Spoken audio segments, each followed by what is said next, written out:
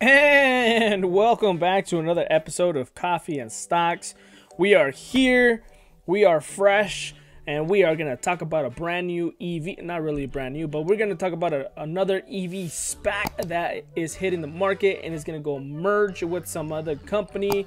But before we get started, can I please ask you guys to smash that like button as well as press that amazing subscribe button because it does go a long way in supporting the channel and i do thank every single one of you guys every single one of the 826 subscribers that i do have.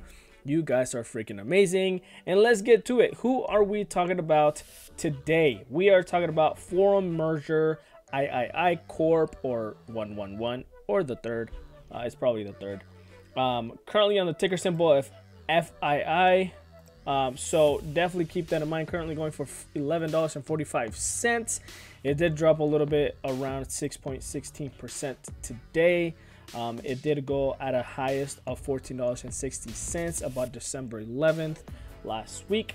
So definitely, definitely, definitely pretty cheap stock. Now, who is this company?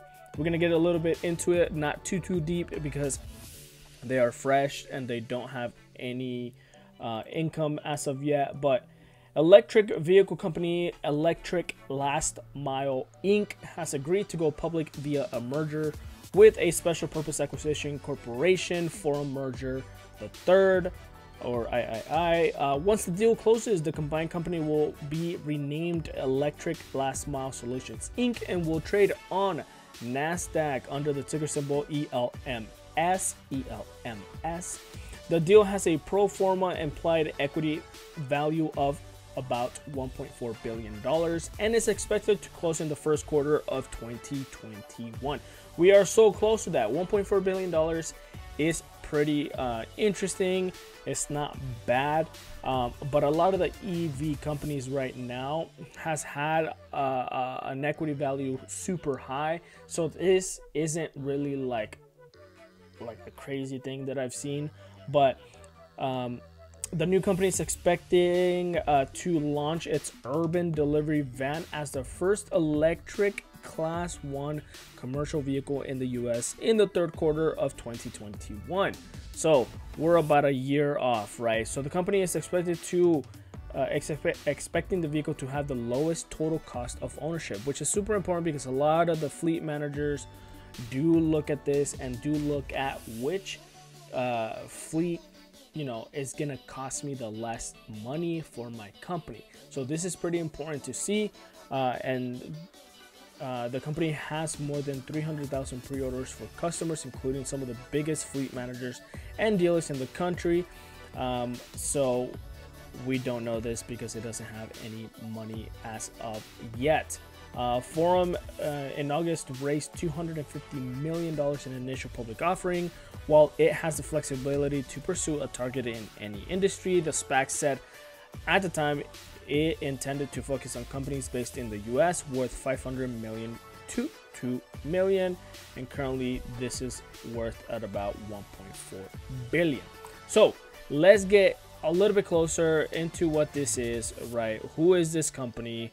Uh, what do they do? We're gonna go into their um, power presentation, their inventor presentation uh, right now. Uh, obviously, whoever made this video right here is pretty freaking good because I like the way they are portraying themselves. Very clean, very green, uh, class one uh, van vehicles. Everything that they're that they're showing you is kind of telling you that it has a lot of improving and a lot uh, uh, of, of better the environment all around. We look a little bit down here, creating a new world of EV possibilities for our customers. We're new US electric vehicle company transporting commercial delivery networks for the e-mobility business of today and tomorrow. Our technology is designed to deliver the most reliable and most efficient electric last mile solutions, combining integrated deep data anal analytics, uh, customization, and sustainable engineering. Now, a lot of the companies, well, not a lot, but you know, last mile solutions has been a target of a lot of EV companies, especially a lot of EV SPACs. So this is definitely, they're pretty much just telling you right off the bat, we are targeting this area right here. Uh, obviously, designed to be the most reliable and most efficient electric last mile solution. Uh, so I'm not gonna go too into this. I will put a, a, link down for their website as well as the presentation. But let's go ahead and look into the presentation right now.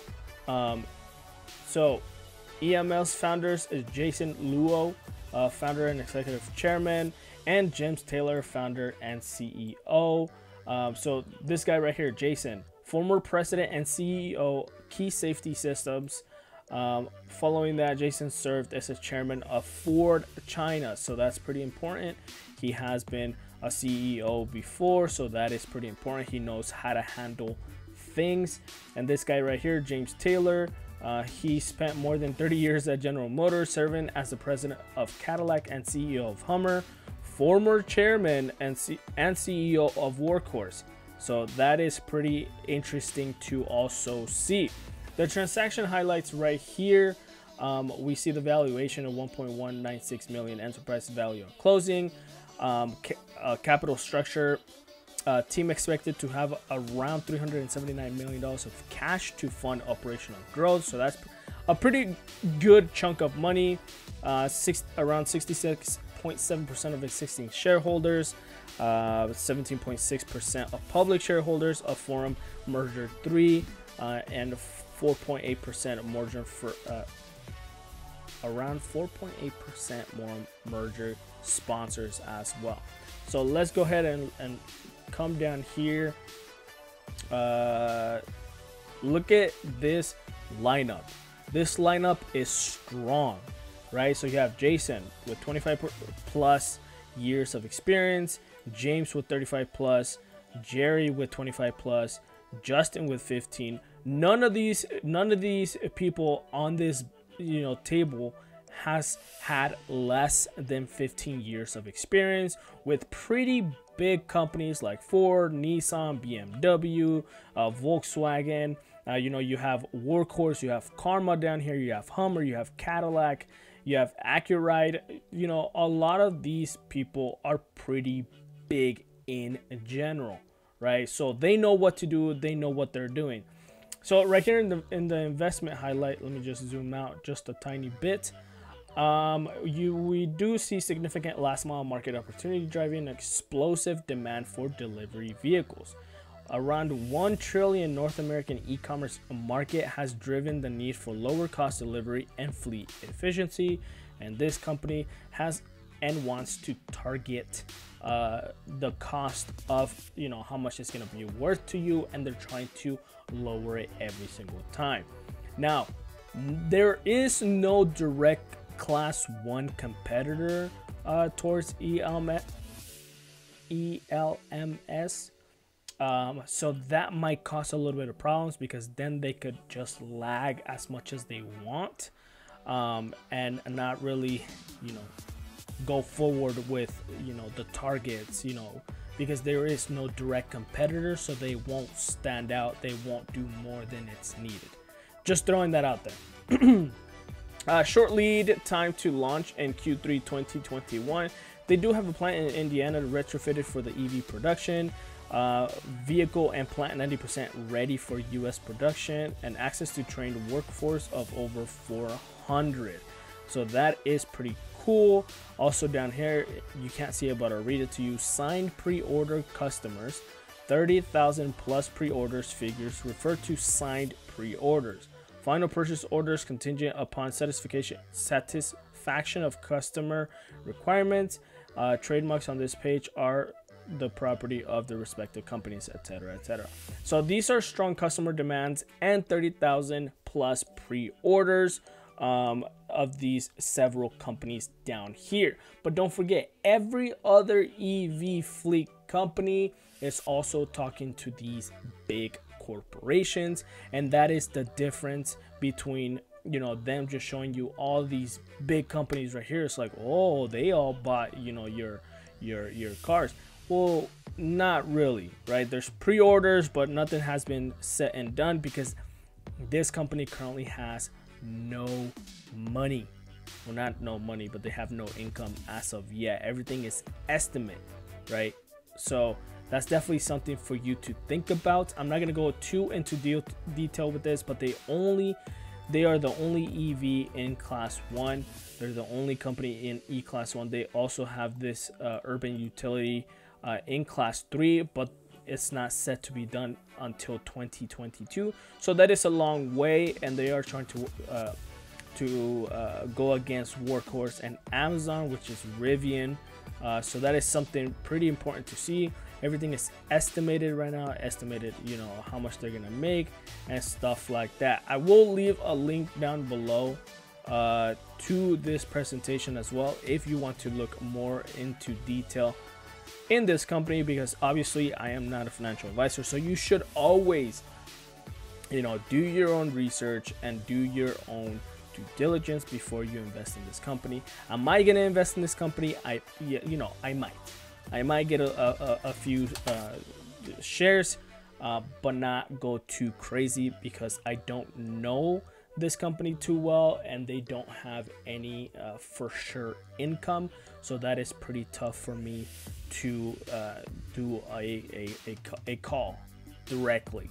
Because obviously I've uh, invested in other companies like Workhorse who don't have um, an estimated find that you know they don't have revenue coming in. So that is pretty tough for me to invest in multiple companies who don't have revenue coming in. So definitely look into that. Just like you see right now everything is estimated. Obviously in 2020 they have zero. In 2021 they're gonna have a, around 122 million. So and obviously from there if everything goes well it's just gonna increase dramatically.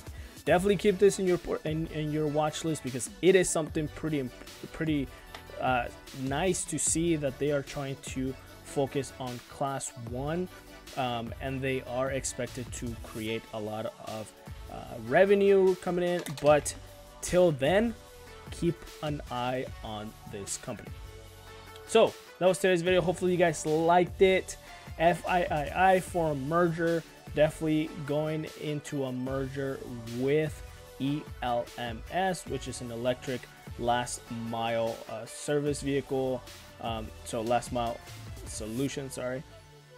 Uh, so definitely, you know, keep that in your watch list. If you like this video, please drop a like on it as well as press that amazing subscribe button. And I will be doing another giveaway once we reach the 900 subscribers. You guys are amazing. Let's keep going. 826 we are almost there. So I will see you guys next time on coffee and stocks